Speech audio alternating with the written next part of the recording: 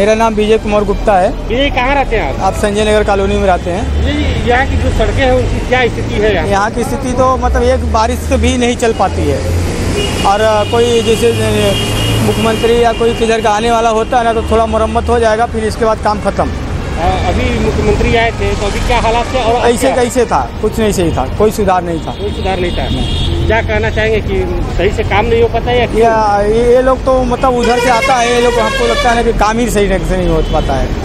अभी पर, परसों मुख्यमंत्री जी आए थे ये पूरा पूरा किया था फिर रात में फिर बराबर हो गया। क्या किया जाए? कल लेबर लगे थे पंद्रह।